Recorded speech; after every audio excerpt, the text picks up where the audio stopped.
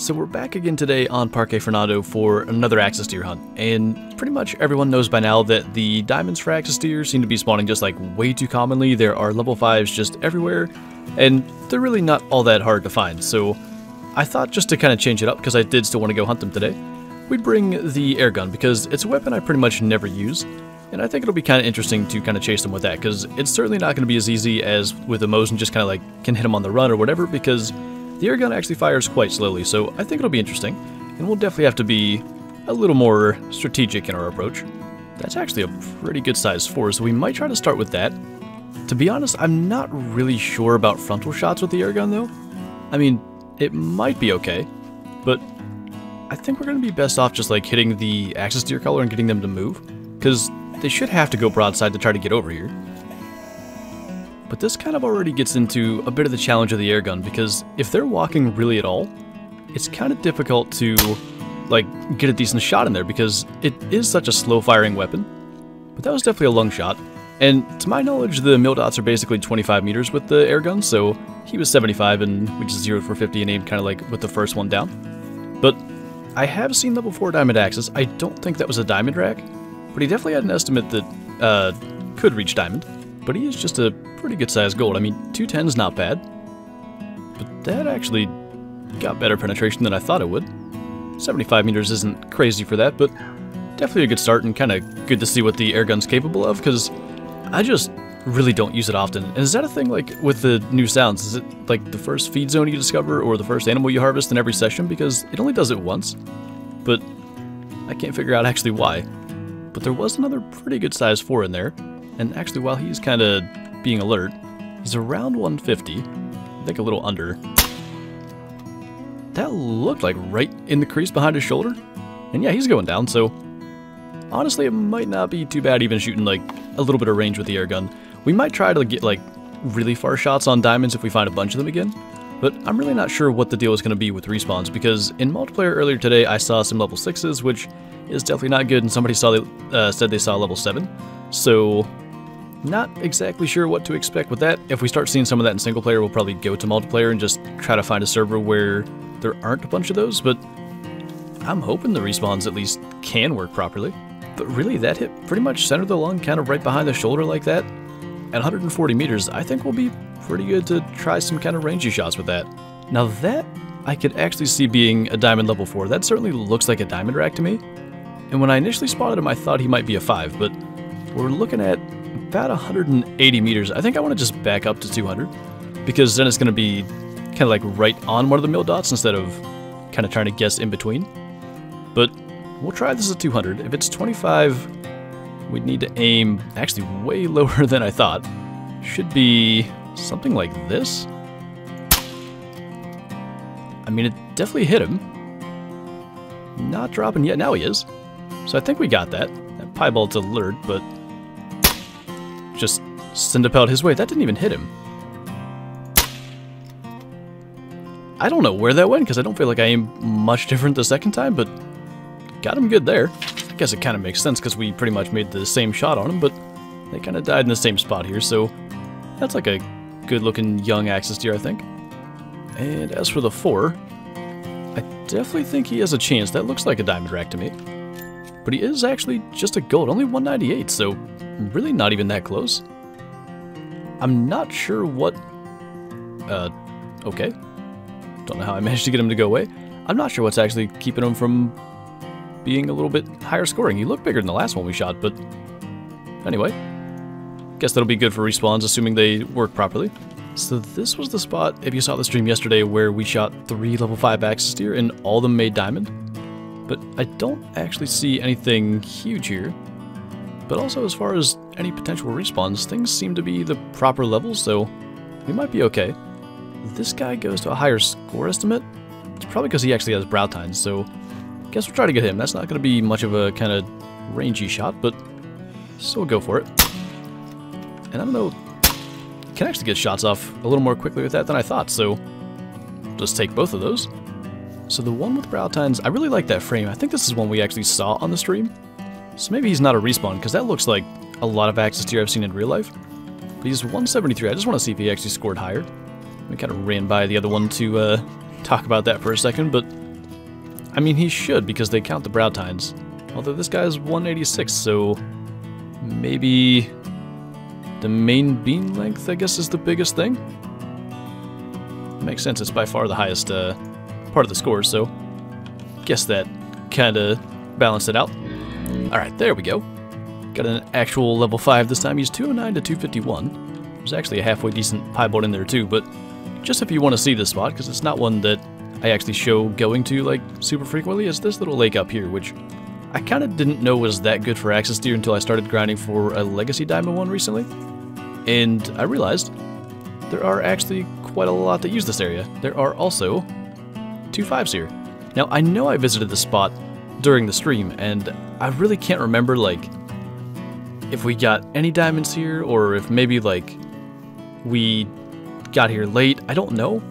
But I would have to think those would be respawns, because to have two of them here, surely I would have noticed one of them. So I'd like to manage to get, like, a double here, but the 1-5 is behind that bush, and the other one's just, like, so kind of packed in here with the other ones. I'm not sure how we can really quickly get two shots off, but we're to try anyway. And I don't know what a frontal shot with the air gun's to do, but I guess we may find out here shortly, so just go for kind of the chest. And then the other one, we definitely hit him. Definitely got him good. And then the question becomes, what happened to the first one? Because the second one we definitely got. That is not the first one. The good news is I don't, at least yet, see any huge antlers uh, going bounding up that hill. That is hunting pressure like we killed two, so maybe that worked. Honestly, I'm not even sure which one this is. I think it's the second one. And I would say, actually, that is not correct. That's the first one, so just barely it reached into that right lung there. So 225 on him, that's not bad. And a ton of people keep killing max weight diamonds, but I've actually only had one, it was my first one in multiplayer. Everything on my own map has not been max weight, which I don't really think that means anything as far as like the legitimacy of the spawns. They all seem to be kind of off, but let's go over here. I can see the other one uh, glowing right down there, so we'll see if we actually manage to double diamond with the air gun. Hopefully we can manage to avoid getting run over by too many of these. He actually kind of went down in a nice spot. I might try to screenshot that. I have a bunch of screenshots of them already because they do look good. That's the one thing, like, as much as they are spawning way too frequently, they do look really good. And I wish I could stomp down that grass, but I tried on my way through and it didn't work, so kind of makes that for a less cool screenshot, but that is a max weight one, to go figure, so they are happening on my map as well. 229 on him. One of my biggest ones, I think we got one in the 230s, or maybe it was one 229, but that was double lung. Kind of low double lung. Almost messed it up, but a quick, uh, a quick shot there because I wasn't sure if he was going to spook because I couldn't spot him. Not too bad. So, again, uh, diamond axis deer are way too common. Um, if you've not hunted them yet, they're out there everywhere. Like, if you just go out on your map, you're gonna find them. But, I mean, I guess it's cool to take them with the air gun. Okay, this could be a lot of fun, but I have no idea where to aim. There is a level 5 axis deer over there, which we visited this spot yesterday, and I think I missed that. Because we killed one, like, small axis deer, and, and unless that's the respawn. So, here's the thing. 200 is about the limits of what we can figure, like, to zero for. So I kind of want to try 300 meters, but I almost want to test it first. Because just to, to try it on the live animal, the most likely thing is we're just going to hit near it and spook it, I think. So, how are we going to test this? Alright, there's a little, like, brown spot there, which I don't know if we can actually really be able to focus in on. I think we can. And I'm just guessing, like, bottom of the scope. It's going to have to be even higher than that. I mean, just by a bit, though. Let's try it and see what happens. I mean, worst case, you know, we're missing on a level 5 axis deer, which there are certainly plenty of. But now we gotta wait for him to turn broadside. It is currently 741, so we got some time. We could maybe take a practice shot on that black buck in the meantime, but it's kind of not at the right range, and I don't want to get out of range to do this. I mean, I don't know, maybe we actually have a better chance, like, at this angle? We need to be right about there. It penetrated through frontal. I think we're just going to give it a shot and see what happens, because who knows how long it's going to take him to turn. Let's see. Oh, we hit low. Alright, so we gotta be even higher than that. We'll let him calm down, and at least we know that now. And maybe he'll give us the broadside shot we need, because it just takes so long for those pellets to travel. Like, if there's any chance of him moving, we're just we're just gonna completely miss, and now we gotta wait. Oh, and I think he started drinking, like, behind that brush, which does not at all help our case. Yeah, he did. Alright. Get him spotted again. And then... Oh, we definitely hit him. That didn't look too bad. It's gonna take him so long to start dropping. I think we got him. Unless it's like vertebrae, but I actually wouldn't expect him to drop that fast. I can't believe that worked. I mean, one miss, but not too bad. It's actually even medium bleed rate. And again, he fell in some of the brush that we can't actually stomp down, and actually we have a buffalo situation, so we're just going to claim this. Left lung, he's a 234, so he's my biggest one.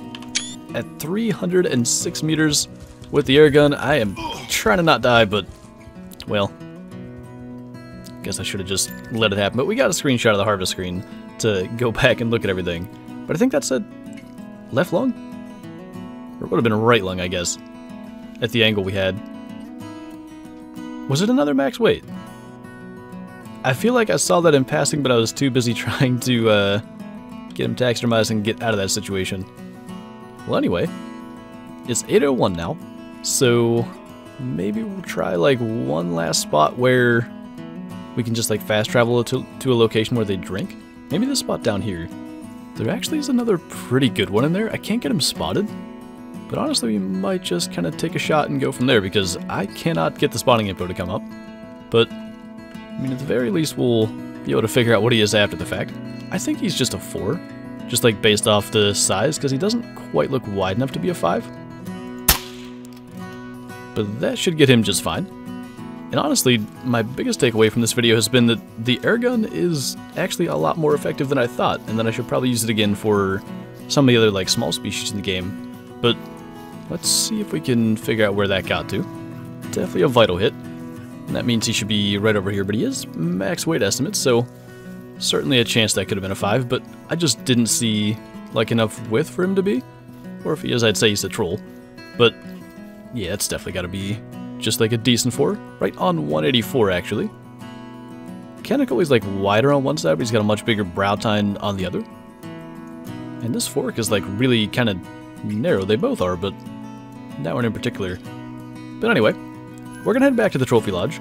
And my perspective with like the Diamond Axis Deer being super common has just been like a lot of people, including myself, put quite a lot of hours into hunting Axis Deer and trying to get like you know, legacy diamonds or even just rares for the lodge, and I had something like six or seven axis deer uh, from the legacy antlers in the lodge.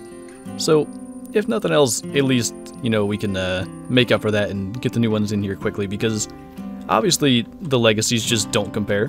Like, there's no way I could leave a legacy diamond axis deer in the lodge with a bunch of true rack ones because the true racks look so much better. So, at the very least, you know, we've been able to kind of replace them quickly, but I'm trying to think of what I have as far as um, spots left for Axis Deer, because we killed three today. So we'll put one in here, and this I wanted to save for an albino one, because we got like a big piebald on the other side. I mean, 208 is definitely pretty good size, so I had an albino legacy one here, and I think I want to put an albino true rack one. But for now, we'll put him there. And I don't even know what we have for other available spots, because I think we... Oh, these two are actually both open, so for now we'll do that. I don't think I'm going to keep it that way, but that'll actually just be our other two. I mean, that actually does look kind of nice. I think I'd like to get the elk out of there for maybe like a moose or maybe a Rocky Mountain elk would be better. Actually, I'm going to try that.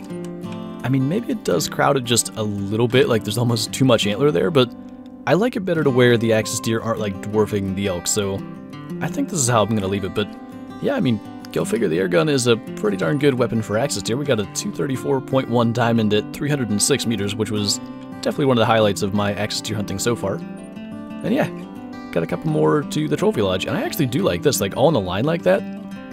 it's actually kind of cool, so I may end up leaving this room like this. I wasn't going to, but it actually works pretty well. But anyway, that is going to do it for this video, so thank you guys for watching, and I'll see you next time.